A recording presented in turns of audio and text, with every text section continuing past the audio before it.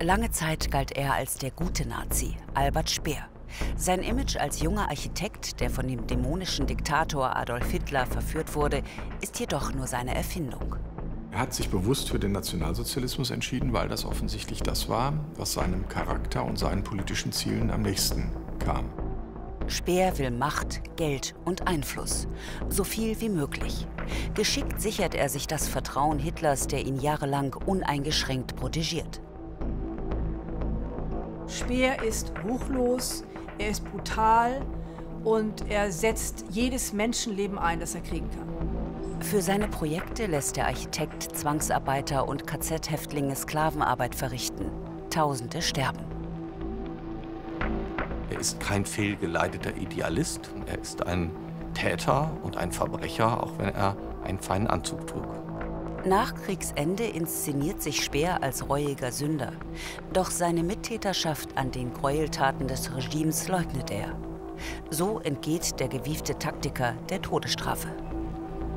Hitler und der Zusammenbruch seines Systems haben eine ungeheure Leidenszeit über das deutsche Volk gebracht. Adolf Hitler ist der Kopf eines menschenverachtenden Regimes, das die Welt mit Krieg überzieht und Millionen Menschen ermordet. Doch die Umsetzung seiner Pläne liegt in den Händen seiner engsten Komplizen. Wer waren diese Männer und was trieb sie an?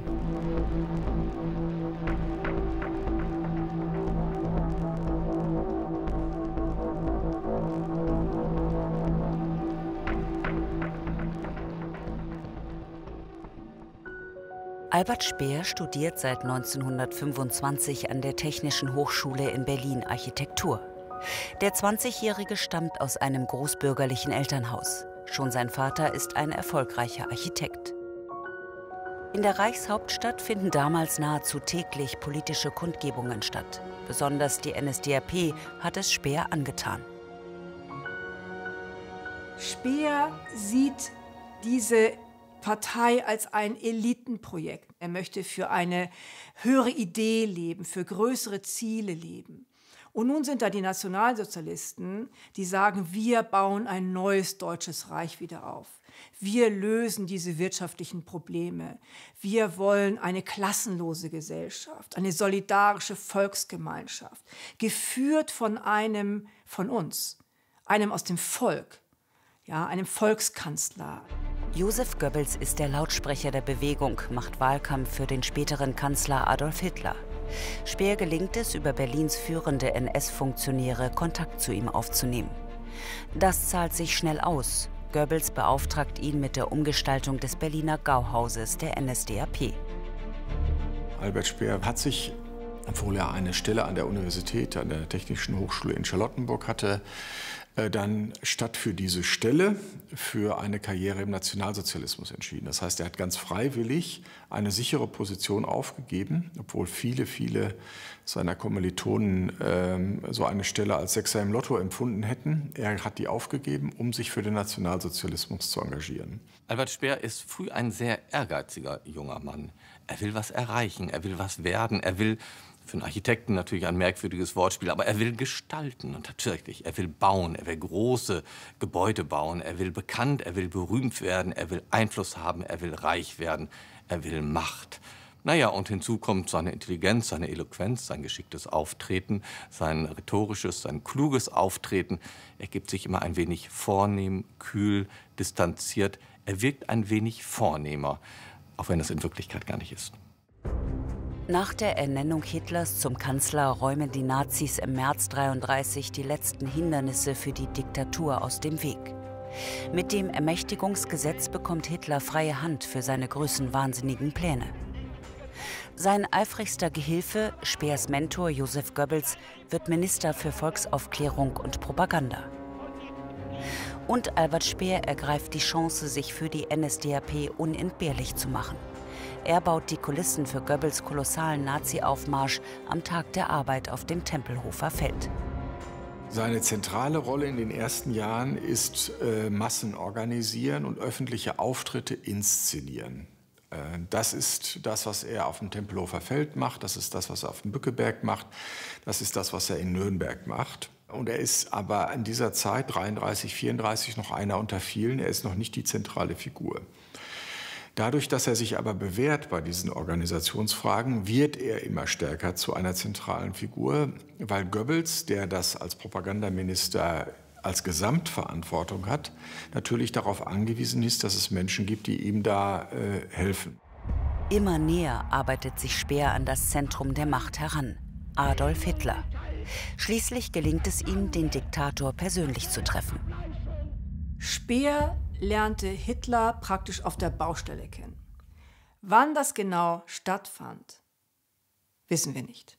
Irgendwann im Frühjahr 1933. Und Hitler versteht sich ja selber nicht als Politiker, das hat er immer wieder betont, sondern als Künstler und auch als Architekt. Er sieht quasi in dem jungen Speer sein alter Ego. Das ist etwas, das er eigentlich auch machen möchte. Und es kommt zu einer freundschaftlichen Beziehung zwischen beiden Männern. Hitler gefallen die monumentalen Entwürfe Albert Speers.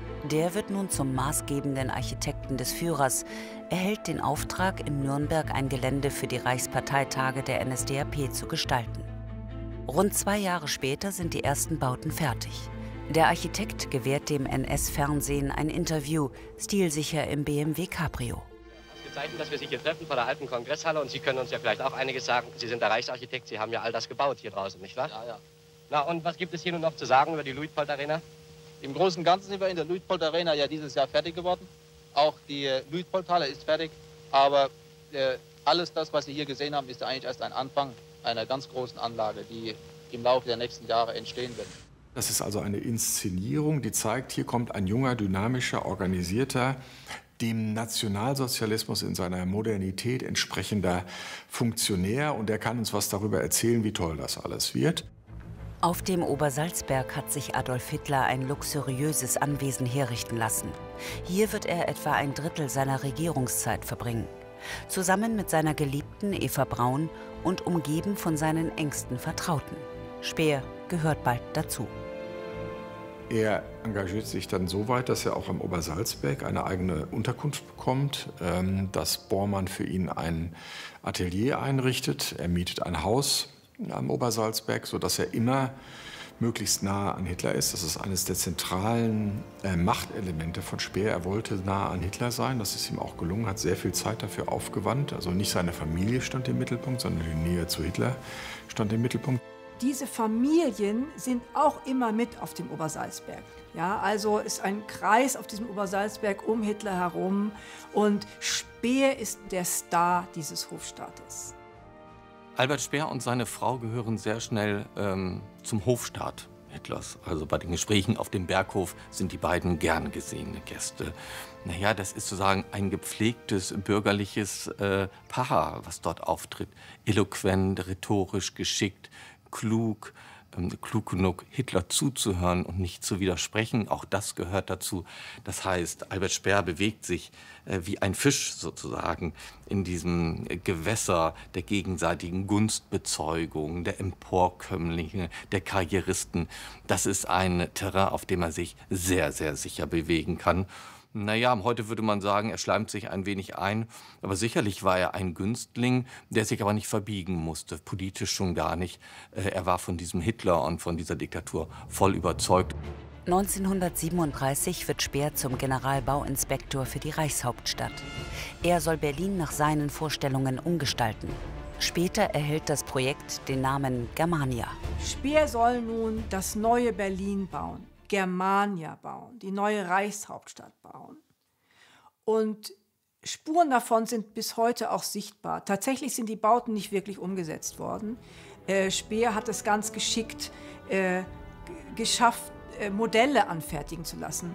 Dieses Germania existierte nur in Pappe, in Pappmaché. Aber diese Pappe wurde tatsächlich abgefilmt und abfotografiert, sodass man auf Bildern oder auch in Ausstellungen das Gefühl hatte, dass dieses Germania schon existiert. Seit 1934 laufen Planungen für die neue Reichskanzlei, Hitlers Amtssitz in Berlin. Mehr als fünf Jahre dauert die Fertigstellung der monumentalen Räume, die vor allem eins ausstrahlen sollen, Macht und Dominanz. Er möchte, dass Hitler die Welt beherrscht. Und diesem Weltenbeherrscher baut er seine Architektur. Albert Speer gibt dieser Diktatur den architektonischen Ausdruck. Man sieht das in Berlin, man sieht es schon an der neuen Reichskanzlei, ähm, aber auch die Reichstagsgelände in, mit den Bauten in Nürnberg. Also Albert Speer schlägt diese Diktatur in Stein. Speer erhält umfassende Vollmachten. Wer seinen Plänen zum Opfer fällt, spielt für ihn dabei keine Rolle.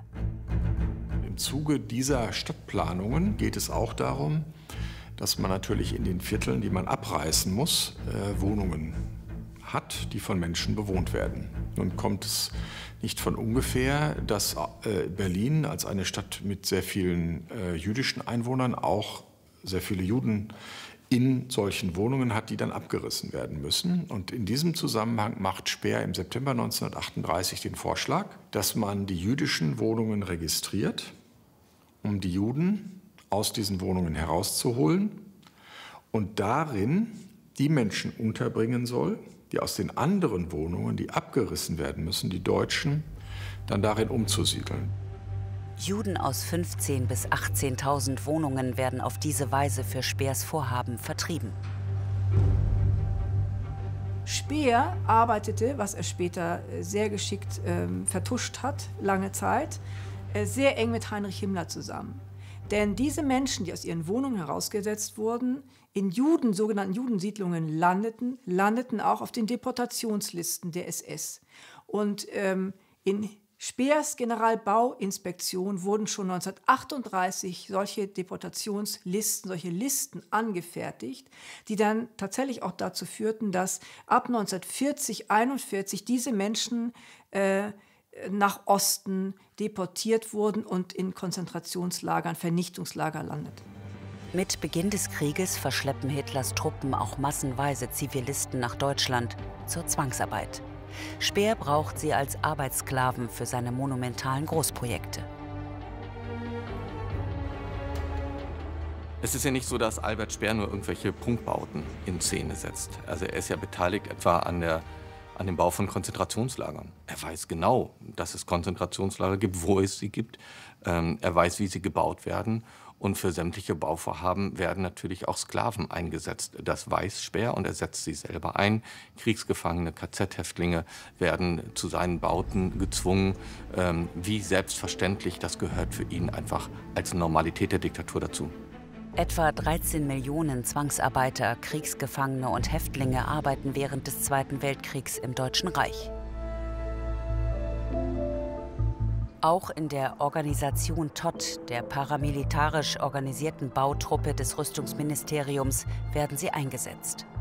Ihr Leiter Fritz Tott steht im ständigen Austausch mit Speer.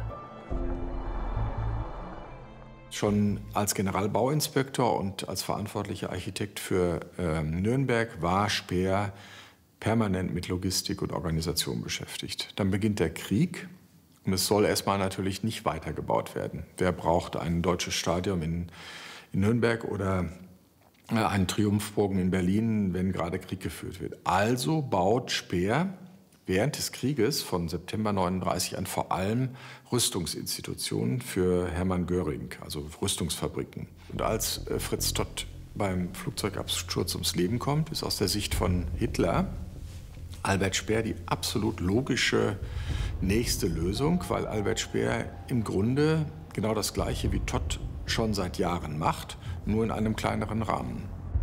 Speers Ernennung nur wenige Stunden nach dem tödlichen Absturz im Februar 1942 kommt dennoch für viele überraschend. Doch Speer weiß sein neues Amt auszufüllen.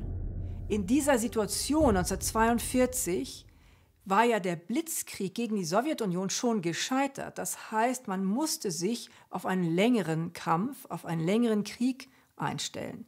Und Speer schafft es jetzt, ab 1942, innerhalb von zwei Jahren, die Rüstungsproduktion mehr als zu verdoppeln. Und wie schafft er das? Indem er mit Zwangsarbeitern arbeitet, mit KZ-Häftlingen arbeitet, aus ganz Europa im Grunde Arbeiter zwangsrekrutieren lässt und nach Deutschland verschleppen lässt. Für Speer sind sie Kriegsmaterial, das möglichst effizient einzusetzen ist. Speer war in seiner Funktion als Generalbauinspektor und später dann auch über die Organisation Todd, aber vor allen Dingen als Generalbauinspektor zuständig dafür, äh, knappe Bauressourcen an unterschiedliche Träger zu verteilen. Er hatte in dieser Funktion ähm, Mauthausen besichtigt und äh, Himmler da dafür gescholten, dass er die Unterbringung der KZ-Häftlinge viel zu großzügig gestaltete und verlangte dann von Himmler ab sofort ähm, die ja, Unterbringungsmöglichkeiten für KZ-Häftlinge noch viel spartanischer zu gestalten, als das im Mauthausen der Fall war. Wenn man sich Mauthausen anguckt, dann ist man überrascht über diese Sicht auf die Dinge. Als US-Truppen im Mai 1945 das Konzentrationslager Mauthausen befreien, lässt sich das Grauen erahnen, dem die Häftlinge ausgesetzt waren. Mehr als 100.000 Menschen sind hier ums Leben gekommen. Ja, dadurch, dass er für die Rüstung zuständig war, war Albert Speer eben ein fester Bestandteil der Kriegsführung. Gar keine Frage, weil ohne Rüstung äh, kein Krieg. Und Albert Speer war mehr. Er war auch der Fanatiker nach innen. Man darf nicht vergessen, dass er auch öffentliche Auftritte hatte. Also im Oktober 1943 sprach er an die deutsche Jugend wo er nicht nur davon sprach, dass der Fortschritt mit den Deutschen sei, sondern er fordert die Jugend auch auf, durchzuhalten, ihre Pflicht zu tun für den Führer und für die deutsche Rasse. Das heißt, alles das, was wir als rassistische Durchhalte-Rhetorik der Zeit kennen, dessen bedient sich auch Albert Speer. Bis kurz vor Kriegsende hält Speer Ansprachen, verleiht Auszeichnungen. Auch seine eigenen Leistungen als Reichsminister für Bewaffnung und Munition weiß er geschickt ins rechte Licht zu rücken. Die Legende vom Rüstungswunder ist auch eine zeitgenössische Erfindung, die weitgehend ähm, durch Speer in die Öffentlichkeit getragen wurde, weil er seine eigene Rolle natürlich damit ähm, in den Mittelpunkt stellen konnte, dass er im Dienste des Nationalsozialismus, im Dienste des Kriegs und des Endsieges äh, nicht nur äh, seinen Beitrag leistet, sondern in herausragender Weise dazu beiträgt. Er sprach ja immer vom Rüstungswunder, ähm, und schrieb sich das selbst zu. Die neueren Forschungen haben sehr deutlich gezeigt, dass das eigentlich Ergebnisse ähm, von Rationalisierungsmaßnahmen waren, die schon in den 1940er, 1941 ergriffen wurden und die dann langsam einfach zum Tragen kamen. Es liegt nicht an Albert Speer, dass da Steigerungen stattfinden. Und ein Weiterer Effekt ist, dass die Statistiken nicht stimmen. Albert Speer hat Statistiken bewusst fälschen lassen, um ein anderes Bild in der Öffentlichkeit darzustellen. Selbst noch 1943, 44, als vor allem nach dem Untergang der 6. Armee in Stalingrad der Krieg eigentlich verloren war, ist Speer derjenige, der Hitler weiter pusht und sagt, wir haben neue Waffensysteme, die Kriegsproduktion läuft auf hohen Touren, wir schaffen das. Und Goebbels an dieser Stelle schrieb in sein Tagebuch, der macht uns ganz besoffen mit seinen Zahlen. Also Goebbels bleibt skeptisch, aber Speer ist tatsächlich derjenige, der zu einem der mächtigsten Organisatoren des totalen Krieges wird. Folgerichtig ist Speer als begeisterter Statist bei der von Goebbels inszenierten Rede im Sportpalast mit dabei. Jubel für einen aussichtslosen Krieg. Er wusste genau, dass er ähm, alles tun muss im Grunde, um diesen Krieg zu gewinnen.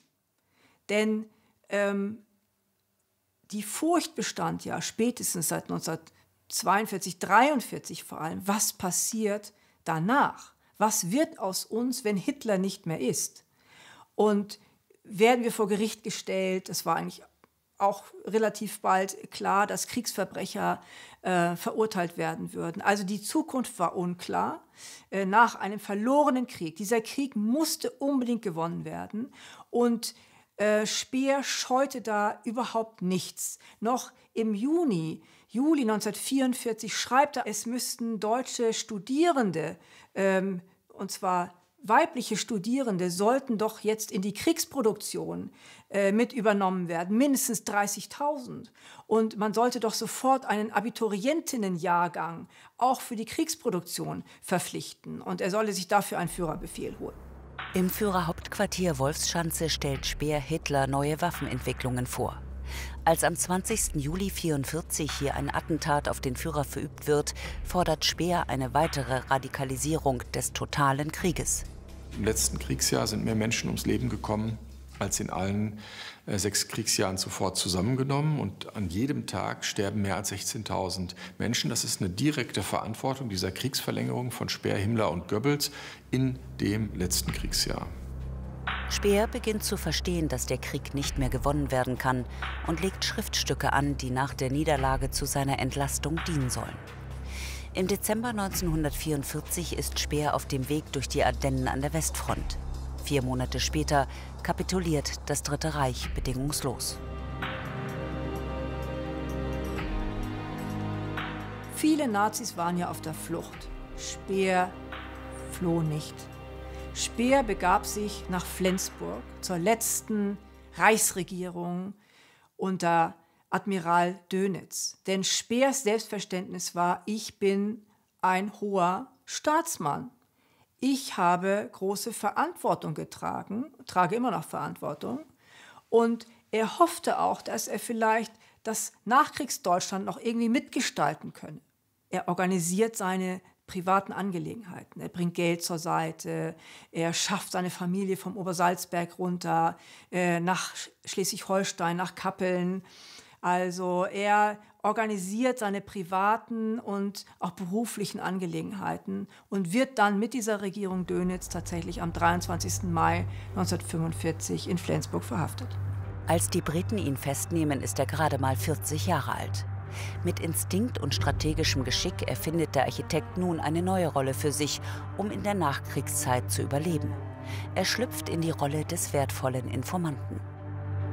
Speer beginnt schon bei den ersten Befragungen im August 1945 in Kransberg im Taunus seine Nachkriegslegende zu stricken.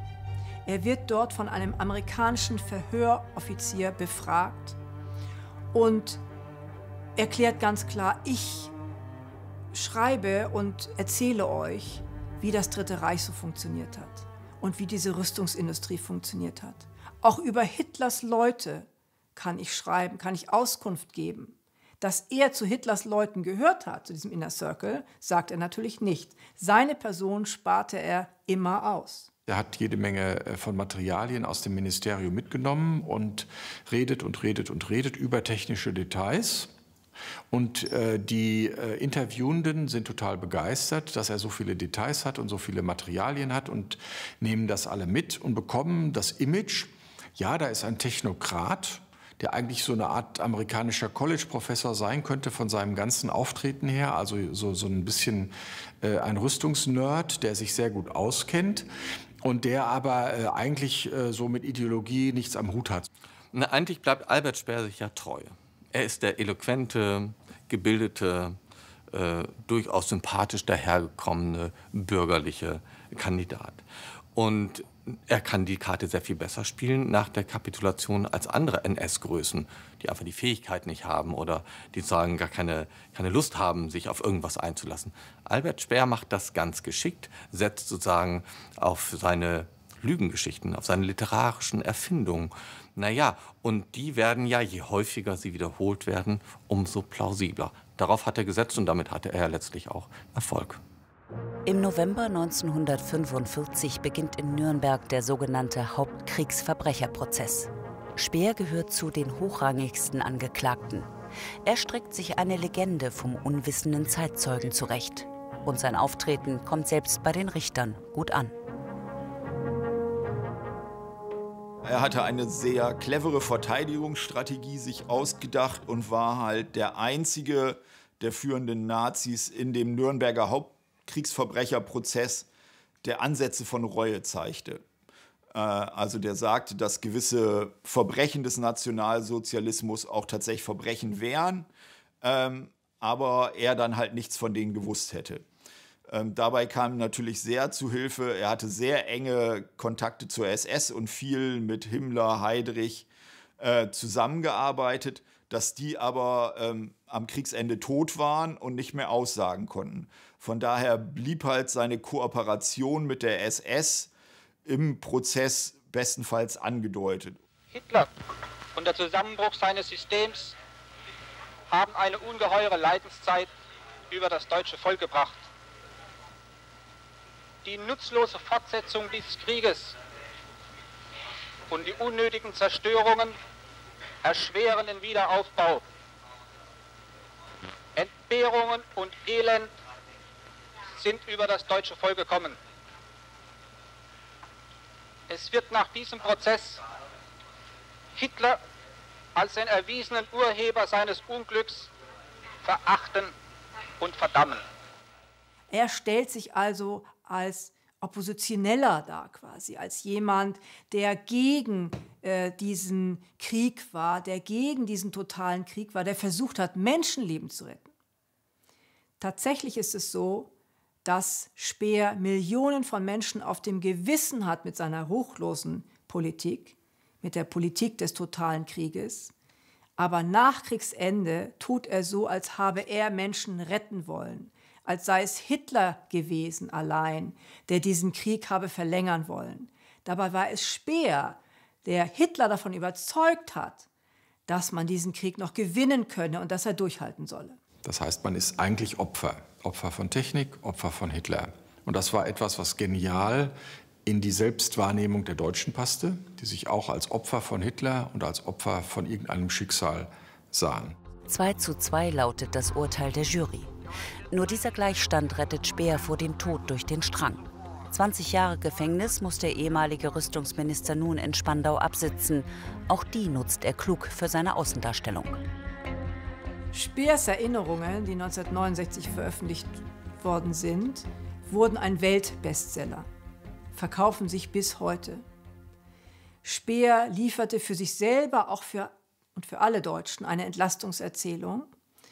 Und die Vorstellung, dass man gar nicht schuld gewesen sei, dass im Grunde ein ähm, eine Naturgewalt, ein Dämon äh, alle Deutschen manipuliert habe und belogen habe, das ist etwas, was Speer beschreibt, war natürlich eine unglaubliche äh, Entlastung.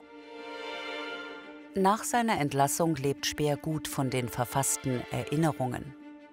Nicht nur finanziell ist er durch die Weltbestseller saniert, auch für sein Image sind sie ein Gewinn. Albert Speer ist ja nicht verantwortlich für irgendwelche Bauten. Er ist äh, mitverantwortlich für Verfolgung, für Vertreibung und Ermordung deutscher und europäischer Juden. Er treibt die Rüstung voran und damit den Krieg. Äh, und dafür äh, nimmt er das Leid und den vielfachen Tod von Zwangsarbeitern, von KZ-Häftlingen, von Kriegsgefangenen in Kauf, billigend in Kauf. Es ging ihm um die eigene Karriere, es ging ihm um Großdeutschland und darum, dass Hitler die Welt beherrscht. Äh, und diese Verantwortung lastet auf seinen Schultern. Und normalerweise hätte er in Nürnberg niemals mit einer Zuchthausstrafe davonkommen dürfen. Albert Speer war ein Karrierist, der die NS-Diktatur rücksichtslos nutzte, um Reichtum und Macht anzuhäufen. Nach dem Krieg konstruierte der Architekt sein Meisterstück, die Geschichte des ahnungslosen Untertanen, der nur seine Pflicht tat.